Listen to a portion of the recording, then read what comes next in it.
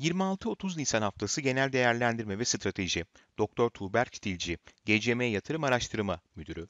Dünyada koronavirüs vaka sayısı 146.8 milyon kişi, iyileşen sayısı 92.5, vefat sayısı 3.1 olmak üzere devam ediyor. Bu noktada Amerika tarafında Biden'ın 100 günde 200 milyon doz üzerinde aşı hedefi gerçekleşti. Amerika'da günlük 4 milyon dozun üzerinde aşılama devam ediyor.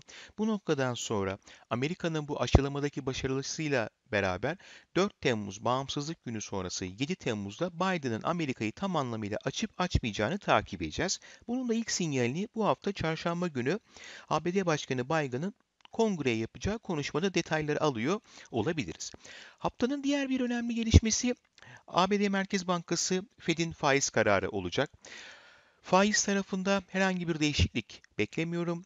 Özellikle Fed Başkanı Powell'ın yapacağı konuşmada ekonomik aktivitedeki toparlanmanın güçlenmesi ve bu toparlanmaya bağlı olarak da varlık alımlarında bir azaltmaya gidip gitmeyeceğine ilişkin biraz daha sinyal etkisinde açıklamalarda bulunabilir ama genel tonlamasında hala virüs etkisi devam ettiğinden dolayı virüs kaynaklı negatif risk faktörlerin devam ettiğini vurgulayabilir.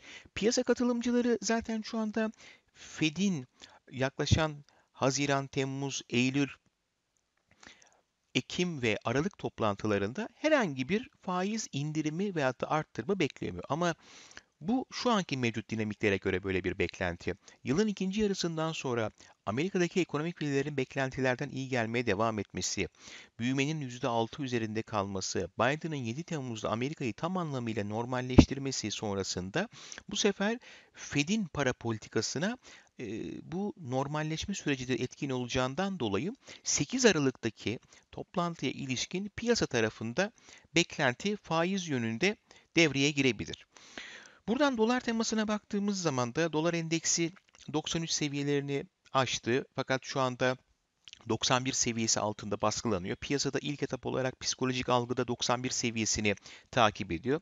Zaten uzun dönemli 164.72 ve 70.69 dip tepeden bir Fibonacci düzeltmesi baktığımız zaman da 23.6 düzeltme 92.88 piyasanın önemli olarak takip ettiği bir seviye olarak karşımıza çıkıyor. Burada tekrar göreceli zayıf dolar, güçlü euro teması devam ediyor. Fakat euro dolara da baktığımız zaman da aslında iki ülke arasındaki faiz farkında anlamlı bir düzey olmadığından dolayı euro dolar aslında kendi bandında normal yerinde saymaya devam ediyor. Alman marka ile düzeltilmiş euro dolar paritesi yani 1.60 tepe 0.64 dipte baktığımız zaman da 38.2 1.23.73 piyasa tarafında majör algı olarak devam ediyor. Tabii bu noktada FED Başkanı Powell'ın neler söyleyeceği, FED'in 7.8 trilyon dolar seviyesinde olan varlıkları azaltıp azaltmayacağı veyahut da varlıkları azaltma takvimine ilişkin nasıl bir yol haritası açıklayacak. Bütün bu unsurlar dolar teması ve Amerikan tahvil faizlerinde etkili olacak. Amerikan 10 yılı piyasa katılımcıları enflasyondaki şahinlikte ilave şahinliğe gitmedi. Şu anda Amerikan 10 yılı 1.50 ile 1.60 bandında devam ediyor. Ama Amerika'da veriler güçlü gelmeye devam ettiği, ekonomik toparlanmanın mevcutta devam ettiği ve devam edeceği beklentisi Amerikan 10 yıllığındaki %1.50 altındaki hareketin potansiyelini azaltıyor. Zaten son hareketlerde hep 1.50'nin üzerinde kaldı. Dolayısıyla 1.50-1.60 arasında yeni bir normal bant hareketi ama ilerleyen zamanda ekonomik aktivitenin canlanmasıyla beraber tekrar 1.60-1.70 bandında bir hareketlenme. Dolayısıyla bu 10 yıldaki 10 yıllıktaki sakin durum gelişmekte olan ülkelerin lokal tahvilleri ve para birimleri üzerinde de negatif katalistliğini azaltmaya devam ediyor. Ons altın tarafında 1779 seviyesinde şu anda bir e, fiyatlama var. Psikolojik bir 1800 seviyesine kadar yaklaşıldı. Burada özellikle Amerika'daki tahvil faizlerinde gerileme, dolar temasındaki zayıflık ons altını yukarı yönlü destekledi. Mavi çizgi borsa yatırım fonlarının elindeki altın miktarını gösteriyor. Özellikle Nisan ayını itibarından itibaren altın fonlarındaki miktardaki çıkış durdu. Dolayısıyla bu çıkışın durması da bir miktar ons altın tarafına pozitif yönde destek verdi. Türk varlıklarına baktığımız zaman da Amerika ile Türkiye arasındaki gerilim ön plana çıkıyor. ABD Başkanı Biden Ermeni sözde soykırımını tanıdı. Buna karşı Türkiye Cumhuriyeti diplomatik kaynaklar vasıtasıyla gerekli cevabı verdi. Fakat e, Biden'ın bu hareketi daha sonraki ilerleyen dönemlerde S-400, Halkbank ve diğer konularda Amerika-Türkiye arasındaki ilişkilerin gergin olacağını gösteriyor. Döviz kuru özellikle USD-TRY paritesi bu noktada yukarı yönlü tepki verdi. 8.48 seviyelerine kadar yükseldi. Şu anda 8.46 seviyelerinde dengeleniyor. 5 yıllık risk birimimiz 400 seviyesi üzerinde kalıcı. 425 seviyesinde devam ediyor. Bu hafta özellikle Türk varlıkları açısından Fed'in faiz kararından sonra 29 Nisan Perşembe günü Türkiye Cumhuriyet Merkez Bankası'nın enflasyon raporuna ulaşacağız. Ve e, Sayın Başkan Kavcıoğlu'nun soru cevap kısmında özellikle Merkez Bankası'nın enflasyon referanslı para politikasında olası bir faiz indirimi için nasıl bir yol haritası izleyeceğine ilişkin sorular gelebilir ve buna bağlı olarak da başkanın vereceği cevap önemli. Enflasyon tarafındaki hedeflerde yukarı yönlü bir revizyon beklemiyorum. 2021 yılında bir önceki enflasyon raporunda %70 ihtimalle orta nokta %9.4 alınmıştı. Bunun devam ettirilmesini bekliyorum. Tabii enflasyon tarafında vurgu yapılırken gıda kaynaklı şoklar ön plana çıkıp gıda tarafında ve petrol fiyatlarında bir miktar yukarı yönlü revizyonlar yapılabilir. Ama enflasyon raporunun ana toplantısının odağında ve piyasanın da odağında Merkez Bankası ne zaman faiz indirecek, enflasyon buna ne kadar müsaade edecek ve Merkez Bankası faiz indirimi yaparsa ani mi parçalara bölünmüş halde mi veyahut da ne kadar şiddetle bir faiz indirimi yapabileceğini anlamaya ve buna ilişkin sorular gelmesi enflasyon raporunda kuvvetle muhtemel. Borsa İstanbul Yüz Endeksine baktığımız zaman da 200 günlük basit hareketli ortalamayı referans olarak takip ediyorum. 1317.24 seviyesi. Tabi Amerika-Türkiye gerilimine bağlı olarak bir miktar bu 200 günlüğün altına kayma olabilir ama genel algı işler dengelendiği zaman da genel algı olarak bu 200 günlüğün üzerinde mi altında mı bu takip ediliyor olacak.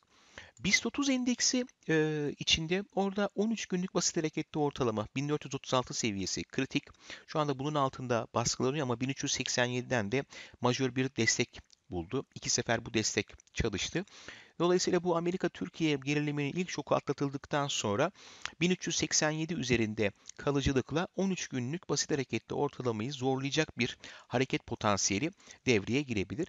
Bankacılık tarafında iyi kötü bir dip arayışı devam ediyor. Fakat trend tamamen pozitife döndü demek için erken çünkü kurumsal yatırımcılar hala bankaları satmaya devam ediyorlar. Bankalar özellikle fiyat kazanç çarpanı ve piyasa değeri böyle defter değeri çarpanı olarak artık ucuzluk kelimesini geçtik. Doğal bir iskontoya geçti ve bu doğal iskontoya rağmen e, tepkinin gelmemesi de negatif soru işareti olarak piyasanın hakkında bulunuyor. Bankacılık endeksi için 1165 seviyesi ve onun desteklediği sarı çizgiyle belirttiğim 34 günlük basit hareketli ortalama 1179 seviyesi. Yani 1165-1179 bölgesi bankacılıkta trendin değiştiği artık o taban taban giden hareketin boşlukları kapattığı şeklinde bir algıyı devam ettirebilir.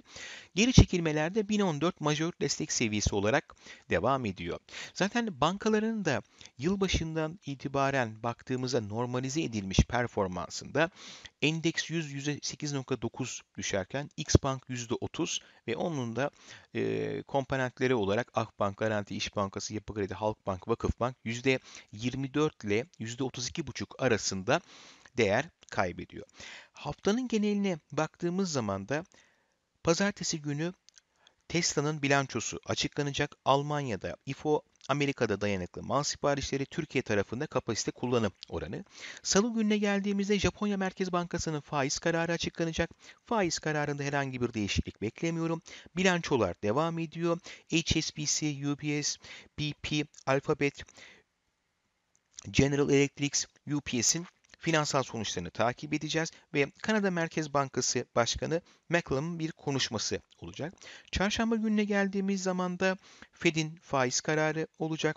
Biden kongreye bir konuşma yapacak. Kongre konuşmasında kaynak haberlere yansıdığına göre aşıyla ilgili başarının ön planda vurgulanması, ülkenin 7 Temmuz'da normalleşip normalleşmeyeceği ve altyapı referanslı olan teşvik paketindeki detaylara ilişkin e, konuşması bekleniyor. OPEC artının toplantısı olacak. ECB Başkanı Lagarde konuşacak bilançolar tarafında hem Amerika tarafında hem Avrupa tarafında önemli şirketler açıklamaya devam edecek. E, Deutsche Bank, Facebook, Ford, Apple, Boeing'in finansal sonuçlarına ulaşıyor olacağız. Perşembe gününe geldiğimiz zaman da Amerika'da büyüme verisini takip edeceğiz. İlk okuma %6'lık bir güçlü toparlanma büyümeye işaret ediyor. Türkiye tarafında Türkiye Cumhuriyet Merkez Bankası'nın enflasyon raporu ve Başkan Sayın Kavcıoğlu'nun açıklamalarını takip edeceğiz. Finansal sonuçlarda Twitter, Amazon, Samsung ve Caterpillar'ın finansal sonuçlarını izliyor olacağız. Cuma günü Türkiye tarafında ticaret dengesi, Çin tarafında PMI verisi, finansal sonuçlar tarafında da Chevron, Exxon, Barclays'in finansal sonuçlarına ulaşıyor olacağız. Herkese iyi bir hafta dilerim.